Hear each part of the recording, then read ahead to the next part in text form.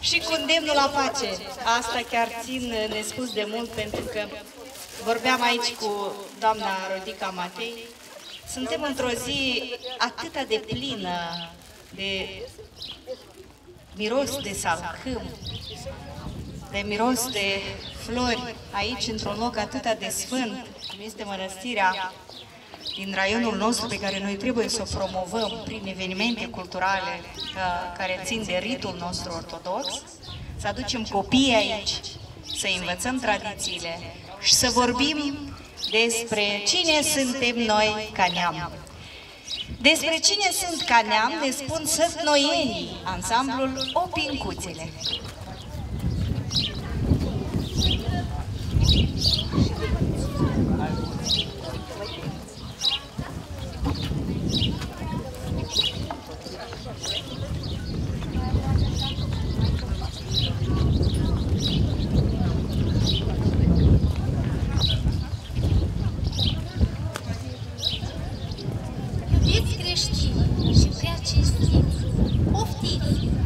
Ідзі не приміг, обокоріє війні, себе май проповедує.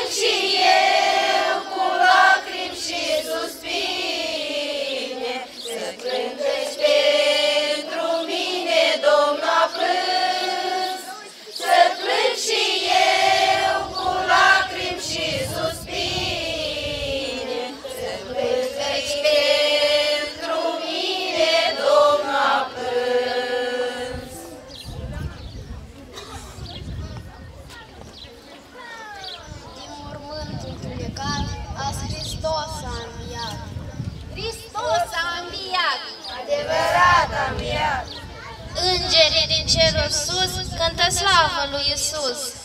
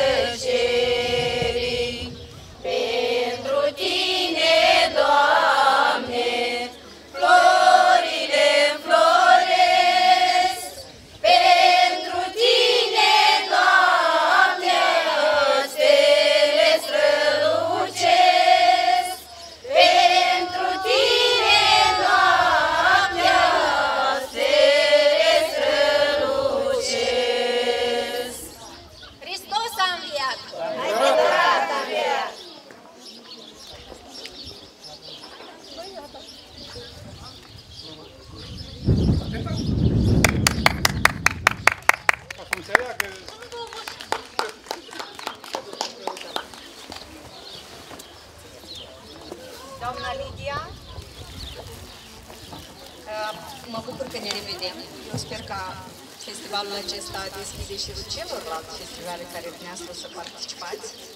Și ziceam, veniți la atestare, că o să vă fie dor de cultură și uitați-vă că ne reîntâlnim. Dar titlul nu ne încurcă să facem, uh, uh, să aducem cântecul și tradiția aproape de ceilalți. Mulțumim, satul nou! Cântecul pascal, pricesnile pascale, colinde pascale, cântări pascale, țin să menționez că se încep odată cu postul Paștelui. Odată ce avem uh, marea asta pregătire pre-pascală, perioada pre-pascală, acele săptămâni întregi de post, cum au apărut, de fapt, cântările pascale din biserică, în cadrul șezătorilor care se făceau în sate și femeile slăveau astfel în perioada pre-pascală, dar și pascală la masa de sărbătoare, învierea și patimile Domnului nostru Isus Hristos. De asta cântecul pascal se trage întâi de toate din popor. La evenimentul de astăzi, spuneam mai sus, că se află pentru prima dată satul Valea Perjei. De ce pentru prima dată? Pentru că anul acesta s-au atestat, mai exact în toamna anului 23, și sunteți bineveniți la ediția care încununează primii 10 ani de eveniment. Ansamblu se numește Vatra Dorului, suntem ochiuri să ascultăm repertoriul uh, Pascal pe care o să prezinte astăzi ansamblul Vatradorului. Primarul, primarul, participat. Hristos a înviat. Adevărat înviat. Suntem nespus de bucuroși să fim parte pentru prima dată la Pascal la 2024. Să nu ne criticați dur. O facem cu drag și o facem cu plăcere și o facem cu credință și smerenie.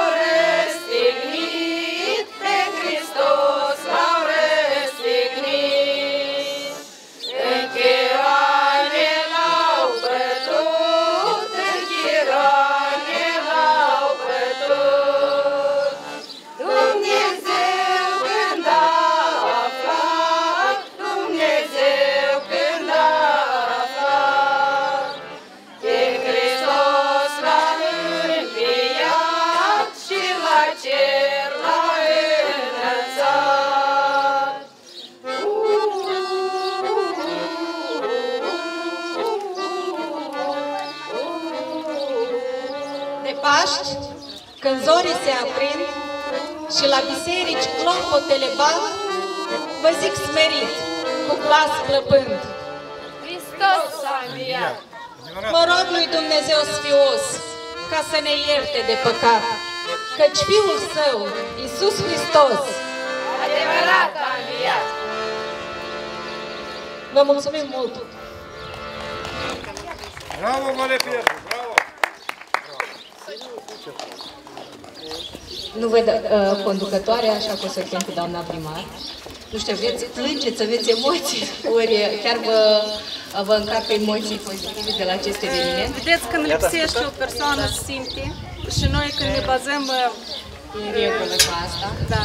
Uh, Dragă Stella, să știți că festivalul uh, Pascal are o conotație aparte. Mi-a plăcut că probabil Sergiu va ajuta la repertoriu, da? Vocile se pliază foarte bine. Atunci chiar bravo, vocile se pliază bine. Doamne ajută în continuare. Doamne ajută în continuare. Hristos a înviat! Nu sunt deloc ultimii, sunt cei mai așteptați. Este vorba despre Centrul de Creație Raional al copiilor și adolescenților de la Cimișlia. Am început cu orașul Cimișlia, încheiem cu orașul Cimișlia. Ghidați de Rodica Matei și de doamna Ah, deci conducătoarea artistică Rodica Matei, smărândițele Rodica. Ansamblu artistic, deja avem și băieți. Deci, Ansamblul artistic al Centrului Renal. sunt artistici de tot. Centrul de Creație Cimișlia.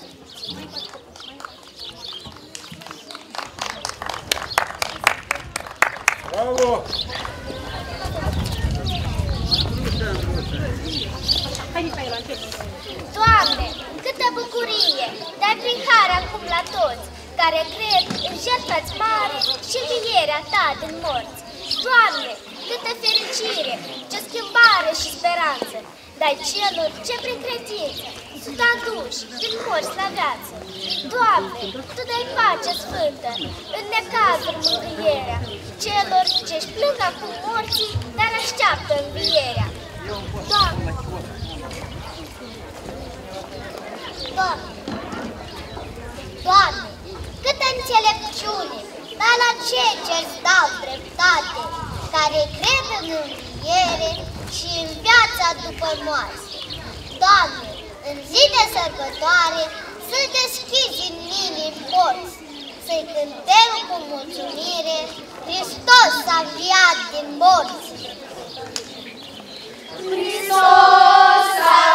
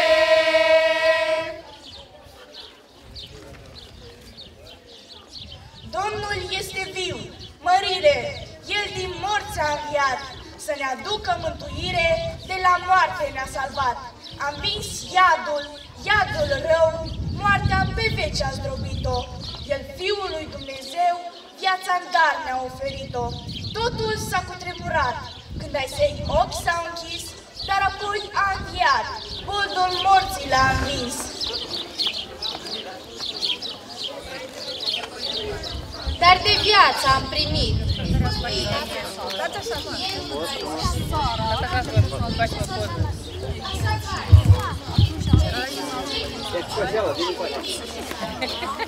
Vada, que... Vada, que...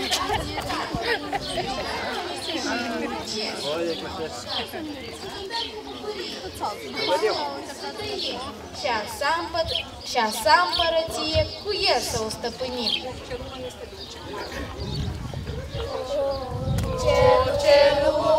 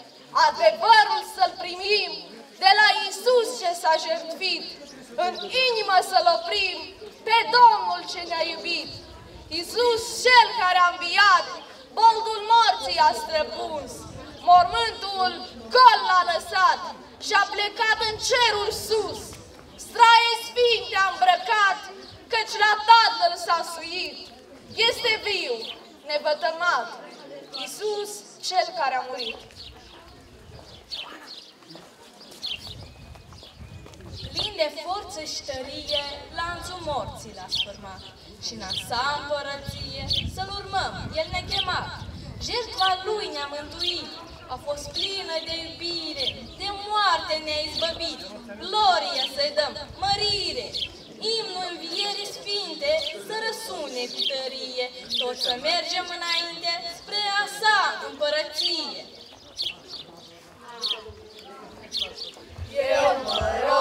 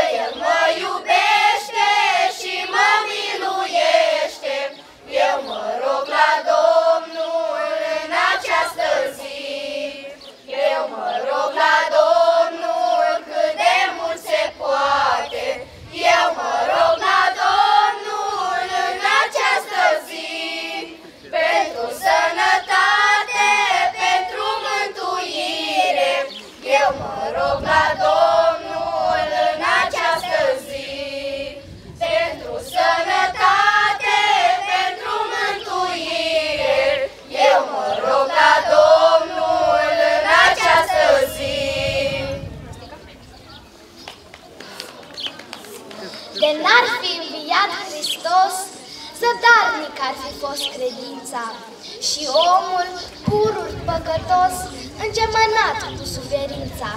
Prin lume și-aș fi căutat căința, neștiind ce-i biruința, de n-ar fi înviat Hristos. De n-ar fi înviat Iisus, Zădarnic ar fi fost cuvântul, ce pretutinea s-a spus și s-a împânzit cu el pământul. N-am fi știut ce legământul și veșnic ne-ar fi fost mormântul, de n-ar fi înviat Iisus.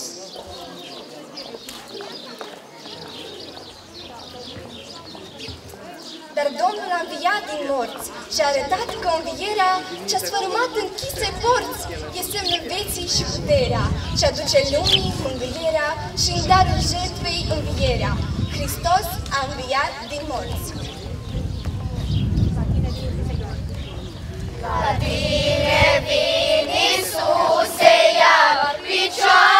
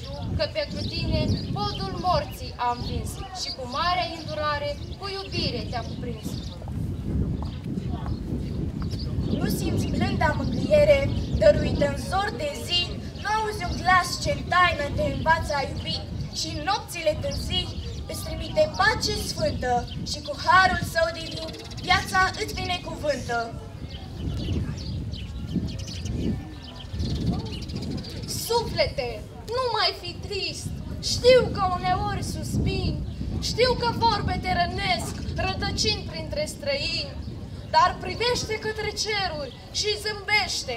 Dumnezeu de acolo te veghează și te ia pe brațul său. Și atunci de ce să plângi? Cântă, roagă-te, zâmbește, primăvara e în doi, Domnul încă te iubește.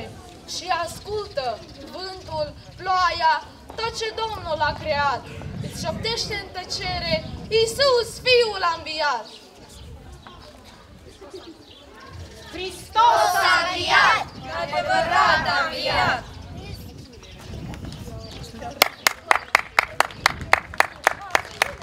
Copii, cu adevărat ați menționat aici în recital ce am fi noi dacă n-ar fi Isus, dacă s-ar fi răstignit pentru noi, ce am fi noi dacă ne-am trezit într-o primăvară și n-ar mai fi Paștile. Și iată, prin voi, copii, se vestește sus la cer că Hristos a înviat, cu adevărat a înviat. Vreau să îndemn toate ansamblurile folclorice să vină aici, în scena noastră improvizată, iar eu aduc mulțumiri Centrului de Creație, doamna Rodica Matei, pentru prestația și recitalul pe care l-ați adus în cea de-a 10-a ediție a festivalului Cântecului Pascal, Cântecului Popular Pascal. Să vă îndulciți din coșul Pascal și să ne vedem și la alte ediții. Să crească acești copii, să vină alții și să perpetueze tradiția. Până se adună ansamblurile, uh, stați un pic în spate, da? Deci, vreau să aduc mulțumiri gazdei evenimentului, părintelui stareț, arhimandritul Tobie, a mănăstirii Sfântul Mare Mucenic Gheorghe din satul Zloț, în semn de aleasă prețuire într-o susținerea și promovarea culturii raionului Cimișlia, în mod special în cadrul festivalului Cântecului Pascal, Pascala 2024, ediția a 10-a.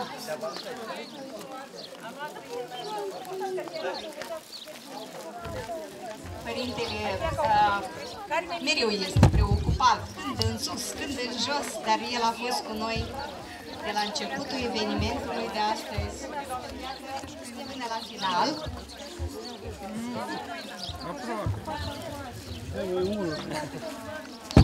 Loc jos în sus.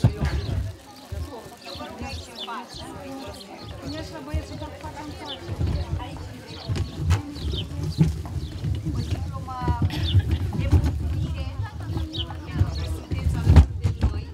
fiecare dată când ne adresăm. Așa cum este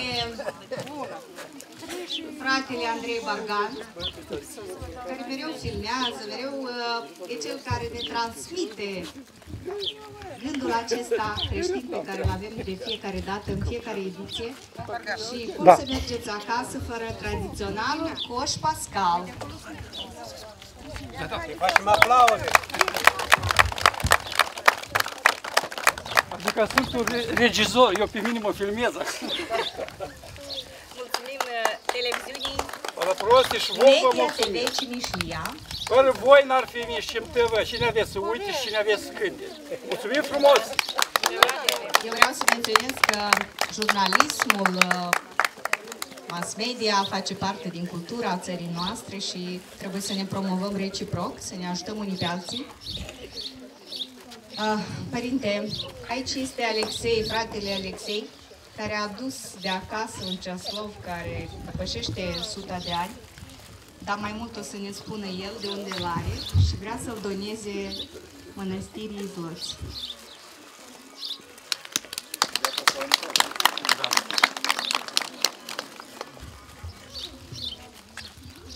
Hristos a înviat. Prea ununați arhimandrit Todii, permisiunea dumneavoastră, uh, mică istorie. Uh, Această carte a aparținut mănăstirii Zloți în uh, 49 la închidere ei, a fost dată în păstrare taică lui. Aici este chiar și un autograf. Asta e o fotografie care ascultătorii și preoții din tot în 49, acest și Părintele Cristof și taică și cineva care nu-l cunoaștem.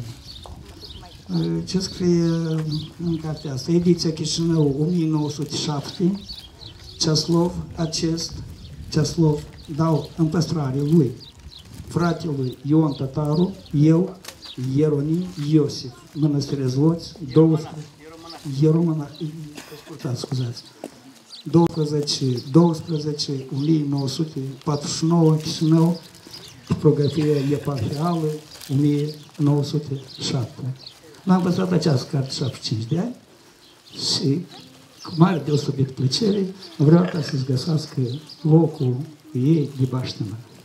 Da, vă mulțumim frumos. Vă mulțumim frumos pentru acest uh, cadou și această carte.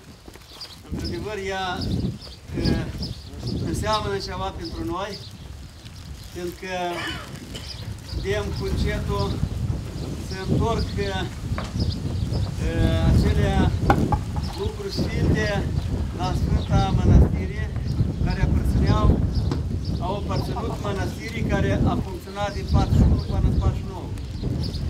Eh, Noi mai avem o Sfântă Evanghelie mare, undeva așa 50-60, care tot a aparținut mănăstirii Lot. Ea a fost eh, vândută eh, șefului cale ferată de un creștin de la Chiș- din Chișinău. Și iată, el, când a- eu când am avut uh, uh, întâlniri cu dânsul uh, la calea ferată, el ne-a vorbit că a cumpărat această carte, când a văzut că, că ea este de la mănăstire și este din anii care, când a funcționat vechea mănăstire. Și plus de ce mai avem și icoana Sfântului Gheorghe, uh, tot uh, icoană veche, care ea a fost pictată pe timpul uh, icoana uh, originală a fost pictată pe timpul Ștefan cel Mare. Dar aceasta este copia și tot este din uh, vechime. Și mai avem și altele icoane vechi care cu încetul se adună la mănăstirea asta. Este o bucurie pentru noi că uh, în curând am să deschidem un muzeu și acolo să punem toate lucrurile vechi. Dacă uh, îmi permiteți, eu pot să uh, vă spun uh, câteva cuvinte. Încă o dată vă spun Hristos a înviat. Și suntem foarte uh, mulțumiți uh, pentru cântarea pe care ați cântat-o aici la mănăstire. Știți că uh, uh, ne-ați făcut uh, o mare uh, bucurie și uh, ceva ca, va rămânea ca amintire uh, la mulți ani.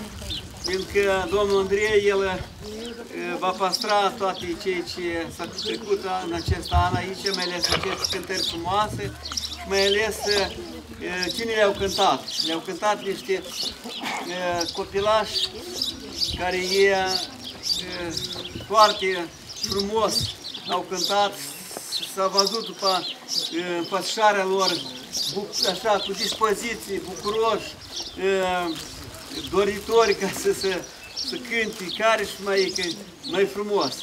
Deci am văzut la o- urmă o grupă și am întrebat de cineva, a, copiii ăștia unde au fost antrenați? Spun că ăștia la Casa de Cultură sau unde de creați. Da, și mă uitam că tare să, așa, e fierbinți, cu emoții, da. cu inima. Da, da, așa. Și de aceea e, să știți că și pentru dumneavoastră să rămâi ceva e, e, e, de multe amintiri când ați ajungeți e, de ca anii noștri, ați vă uitați pe fotografii, pe ce aveți ce ați filmat și o să vă bucurați că iată, și, iată voi ați fost, în- ați cântat, ați laudat, ați- mai ales că așa loc pe meșăm meleaguri și ați povestiți la copiii voștri care voi o să stați tată, mamă și, și o să povestiți la copiii voștri și iată că o să fie interesant. E interesant pentru copiii voștri că să, să vadă că iată și voi ați fost cândva copii și iată ce ați făcut. Și ei ați dorească și mamă, vreau și eu. Știți, copil mai mult la mamă s-a lăsat, vreau și eu. Așa încă o dată vă spun să aveți uh, până la sfârșitul săptămânii acelea bucurii și, și, și dispoziții și cum mai numim acelea întâlniri cu prietenii, cu, cu rudele, cu toți vă vedeți, vă salutați cu Hristos a înviat, fiindcă săptămâna aceasta luminată spune că se slujește slujba și este e, e, aceea bucurie de plină cum a fost în prima duminică de învierii, până la Paștul Blăjânilor. De-am după Paștul Blăjânilor, de mai puțin când Hristos a înviat, dar săptămâna aceasta, cum am spus, e plină și, și, și, și răsună toate aparatele noastre. Unii toți stăruie să se deie, să se arete cum a fost și ce a fost și s-a întâlnit cu prieteni, cu vecini, cu părinți și, și, și așa mai departe. Hristos a înviat! Hristos a înviat! Și, nu ultimul rând, vreau să vă duc și dumneavoastră conducerea poporului la toată, toată adunarea care a să, a să v-a stăruit și a să organizat-o, că nu puțin timp și a spus, a să pierdut și, mă rog, și, și emoții și altele, pentru ca să primească această frumusețe, fiindcă dumneavoastră sau pe noi, pe toți, să ne privească o țară întreagă. Da. Dacă trăim bine cu fratele Andrei, el a să, a să fac să ajung și la frații noștri români și la frații noștri ruși și ucraineni. Ca să-i să, să le arătăm noi, iată cum să sărbătorești la noi Moldova Paștele. Hristos a înviat. Adevărat a înviat. Doamne ajută, Părinte, să mai avem și alte ediții aici. Mai multă lume, de fapt, la mănăstire vine cel care are nevoie și nu trebuie să fie nimeni obligat nici să rămână, nici să vină. Dar cu adevărat ați spus mai sus că la fiecare dintre voi, copiii, în viața voastră, va veni timpul când veți spune a fost odată sau așa era pe timpuri. Timpul nu iartă pe nimeni, dar cu siguranță o să vă aduceți aminte ați venit aici alături de pedagogi, de părinți, de surori și era starețul Tobie care ne povestea că va veni timpul și o să ajungeți să povestiți copiilor voștri că Hristos a înviat, că numai prin noi va perpetua tradiția, dacă o ducem an de an din copil în nepot și așa mai departe. Vreau să aduc încă o dată mulțumiri ansamblurilor folclorice Spicușor, ansamblu folcloric Cununița Selemet, o să menționez, Spicușor Mihailovca, Cununița Selemet, Sălcioara Hârtop, Datina Porumbrei, Va, Vatra Dorului de la Valea Perșei, Centru de Creație, care spunea aici, atâta de inimoși sunt copiii ăștia. La anul o să-i vedem încă un pic mai mărișori iar peste ani nu o să mai vedem, o să vină alții, tot la fel de inimoși. Școala de Arte Cimișlia, cu care am început, 41 de elevi au fost aici, la începutul evenimentului. Ansamblul Direcției Cultură, Busuioc Moldovenesc, Opincuțele de la satul Nou, Gura galbenii, haiducii și țărâncuțele, cum le spun eu, neobosiți cu sumanele în spate, au venit să aducă tradiția aici. În ținuturile Ziloti, a mușierului Ziloti, pentru că mulți vorbesc de ce se spune mănăstirea Zloți, pentru că sunt pământurile satului nou, cumva, nu știu a cui o fi pământurile, dar se numește Zloți pentru că aici a fost o donație a mușierului Ziloti. Și aceste locuri poartă cumva numele lui, cu timpul s-a transformat toponimul. Doamne ajute, vreau să zic, mie tare îmi place din toate evenimentele care le are Direcția Cultură, Tineret, Sport și Turism, Festivalul Pascal, care l-am început acum 11 ani, în 2013, alături de Ștefan Golovati, el perpetuează evenimentul. L-am început la Cimișlia, cu timpul am înțeles că Mănăstirea Zloți, părinte, trebuie să fie arhicunoscută de toți, că nu există doar Curci, Căpriana sau Hârjau, că există Mănăstirea Zloți, eu cunosc foarte mulți colegi de la Nord care au venit aici și s-au tratat ca prin minune.